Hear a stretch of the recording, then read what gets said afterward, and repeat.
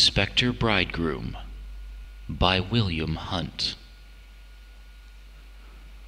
Long, long ago, a farmer named Lenine lived in Beausien. He had but one son, Frank Lenine, who was indulged into waywardness by both his parents. In addition to the farm servants, there was one, a young girl, Nancy Trenoweth, who especially assisted Mrs. Lenine in all the various duties of a small farmhouse. Nancy Trenoweth was very pretty, and although perfectly uneducated in the sense in which we now employ the term education, she possessed many native graces, and she had acquired much knowledge really useful to one whose aspirations would probably never rise higher than to be mistress of a farm of a few acres. Educated by parents who had certainly never seen the world beyond Penzance, her ideas of the world were limited to a few miles around the land's end.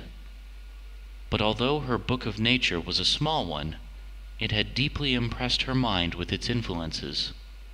The wild waste, the small but fertile valley, the rugged hills with their crowns of cairns, the moors rich in the golden furze and the purple heath, the sea-beaten cliffs and the silver sands were the pages she had studied, under the guidance of a mother who conceived, in the sublimity of her ignorance, that everything in nature was the home of some spirit form. The soul of the girl was imbued with the deeply religious dye of her mother's mind, whose religion was only a sense of an unknown world immediately beyond our own. The elder Nancy Trenoweth exerted over the villagers around her considerable power. They did not exactly fear her, she was too free from evil for that, but they were conscious of a mental superiority, and yielded without complaining to her sway. The result of this was that the younger Nancy, although compelled to service, always exhibited some pride, from a feeling that her mother was a superior woman to any around her. She never felt herself inferior to her master and mistress, yet she complained not of being in subjection to them. There were so many interesting features in the character of this young servant girl that she became in many respects like a daughter to her mistress. There was no broad line of division in those days, even in the manorial hall, between the lord and his domestics, and still less defined was the position of the employer and the employed in a small farmhouse. Consequent on this condition of things, Frank Lenine and Nancy were thrown as much together as if they had been brother and sister. Frank was rarely checked in anything by his overfond parents, who were especially proud of their son, since he was regarded as the handsomest young man in the parish. Frank conceived a very warm attachment for Nancy, and she was not a little proud of her lover. Although it was evident to all the parish that Frank and Nancy were seriously devoted to each other, the young man's parents were blind to it, and were taken by surprise when one day Frank asked his father and mother to consent to his marrying Nancy. The Lenines had allowed their son to have his own way from his youth up. And now, in a matter which brought into play the strongest of human feelings, they were angry because he refused to bend to their wills. The old man felt it would be a degradation for a Lenine to marry a Trenoweth, and, in the most unreasoning manner, he resolved it should never be. The first act was to send Nancy home to Aljamil, where her parents resided. The next was an imperious command to his son never again to see the girl. The commands of the old are generally powerless upon the young, where the affairs of the heart are concerned. So were they upon Frank. He who was rarely seen of an evening beyond the garden of his father's cottage was now as constantly absent from his home. The house, which was wont to be a pleasant one, was strangely altered. a gloom had fallen over all things. The father and son rarely met as friends. The mother and her boy had now a feeling of reserve. Often there were angry altercations between the father and son, and the mother felt she could not become the defender of her boy in his open acts of disobedience, his bold defiance of his parents' commands. Rarely an evening passed that did not find Nancy and Frank together in some retired nook. The Holy Well was a favorite meeting place, and here the most solemn vows were made. Locks of hair were exchanged. A wedding ring, taken from the finger of a corpse, was broken, when they vowed that they would be united, either dead or alive. And they even climbed at night the granite pile at Treryn, and swore by the Logan Rock the same strong vow time passed onward unhappily, and, as the result of the endeavors to quench out the passion by force, it grew stronger under the repressing power, and, like imprisoned steam, eventually burst through all restraint. Nancy's parents discovered at length that moonlight meetings between two untrained, impulsive youths had a natural result and they were now doubly earnest in their endeavors to compel Frank to marry their daughter.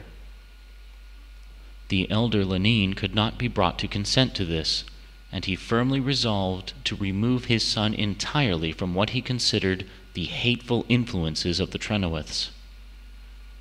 He resolved to go to Plymouth, to take his son with him, and, if possible, to send him away to sea, hoping thus to wean him from his folly as he considered this love madness. Frank, poor fellow, with the best intentions, was not capable of any sustained effort, and consequently he at length succumbed to his father. And, to escape his persecution, he entered a ship bound for India, and bade adieu to his native land.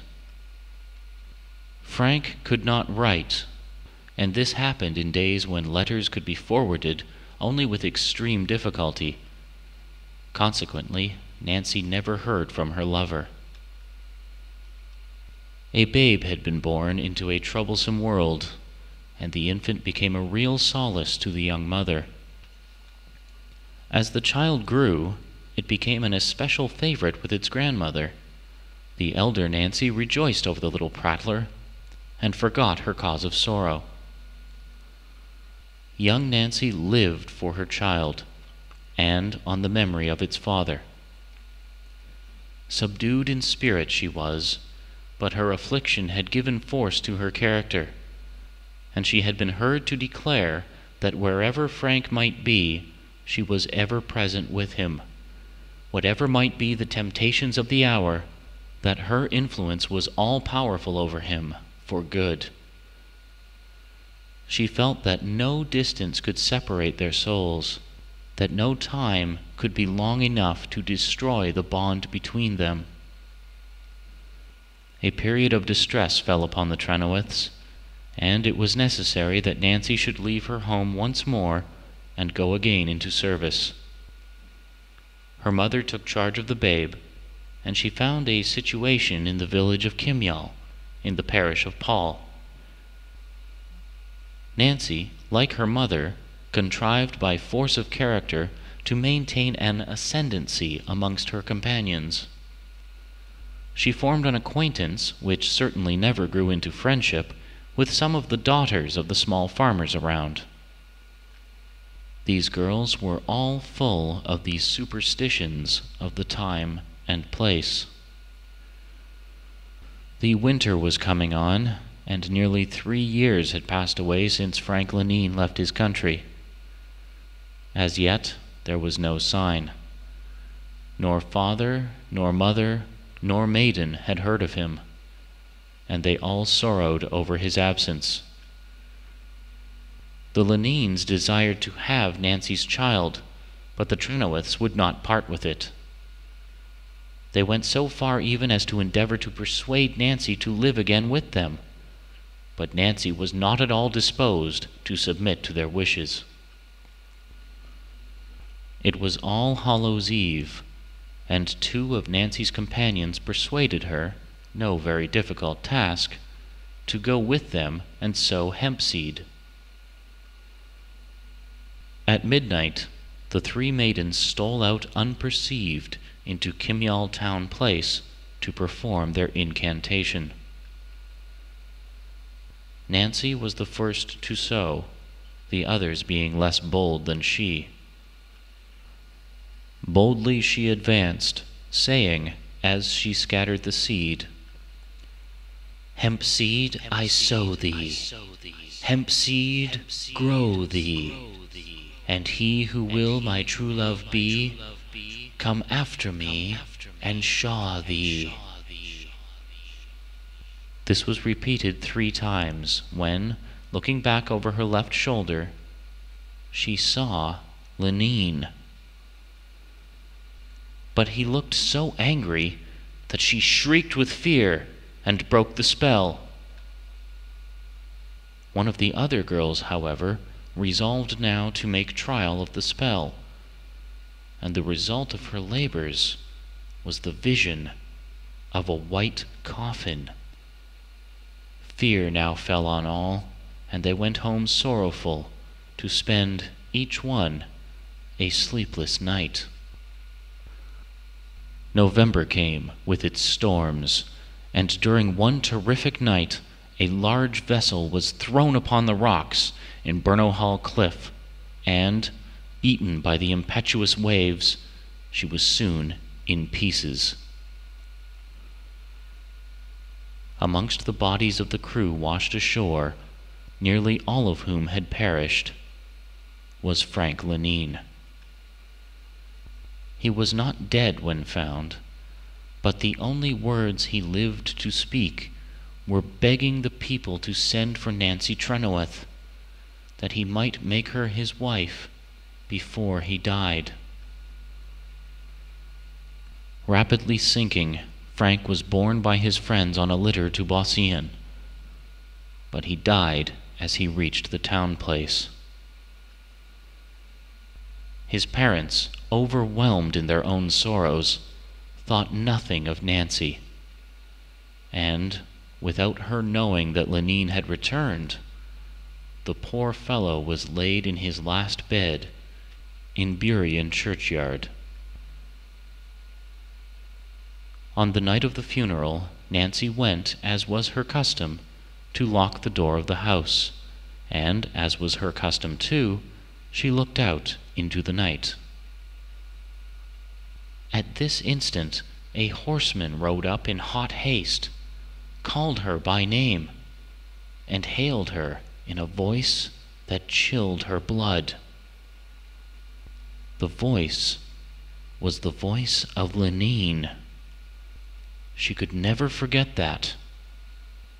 And the horse she now saw was her sweetheart's favorite colt, on which he had often ridden at night to Alsia.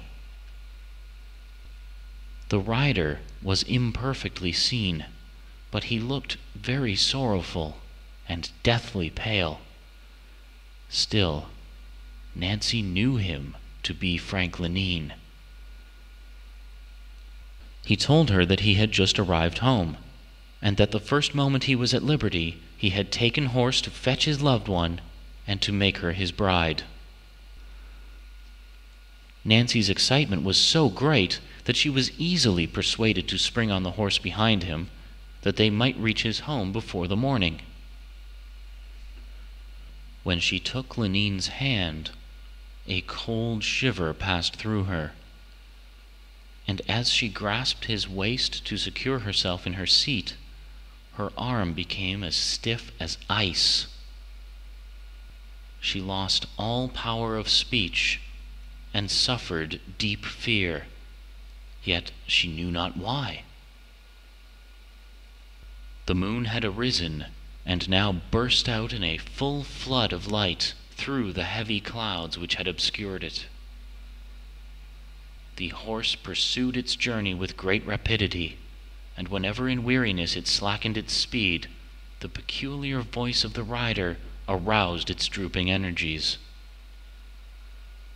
Beyond this, no word was spoken since Nancy had mounted behind her lover. They now came to Trove Bottom, where there was no bridge at that time. They dashed into the river. The moon shone full in their faces. Nancy looked into the stream and saw that the rider was in a shroud and other grave clothes. She now knew that she was being carried away by a spirit. Yet she had no power to save herself. Indeed, the inclination to do so did not exist. On went the horse at a furious pace until they came to the blacksmith's shop near Buryan Churchtown, when she knew by the light from the forge fire thrown across the road that the smith was still at his labors. She now recovered speech. Save me! Save me! Save me! she cried with all her might.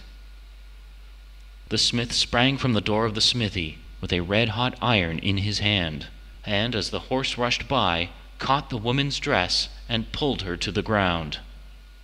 The spirit, however, also seized Nancy's dress in one hand, and his grasp was like that of a vice. The horse passed like the wind, and Nancy and the smith were pulled down as far as the old almshouses near the churchyard. Here the horse for a moment stopped. The smith seized that moment, and with his hot iron burned off the dress from the rider's hand, thus saving Nancy, more dead than alive, while the rider passed over the wall of the churchyard and vanished on the grave in which Lenine had been laid but a few hours before.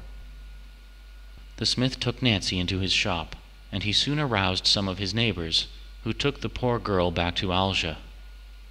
Her parents laid her on her bed. She spoke no word but to ask for her child to request her mother to give up her child to Lenine's parents, and her desire to be buried in his grave. Before the morning light fell on the world, Nancy had breathed her last breath. A horse was seen that night to pass through the church town like a ball from a musket, and in the morning Lenine's colt was found dead in Burnewhall Cliff covered with foam, its eyes forced from its head, and its swollen tongue hanging out of its mouth. On Lenine's grave was found the piece of Nancy's dress, which was left in the spirit's hand when the smith burnt her from his grasp. It is said that one or two of the sailors who survived the wreck related after the funeral how, on the 30th of October, at night, Lenine was like one mad. They could scarcely keep him in the ship. He seemed more asleep than awake, and, after great excitement, he fell as if dead upon the deck, and lay so for hours. When he came to himself, he told them that he had been taken to the village of Kemyel, and that if he ever married the woman who had cast the spell, he would make her suffer the longest day she had to live for drawing his soul out of his body. Poor Nancy was buried in Lenine's grave, and her companion in sowing hemp seed, who saw the white coffin, slept beside her within the year.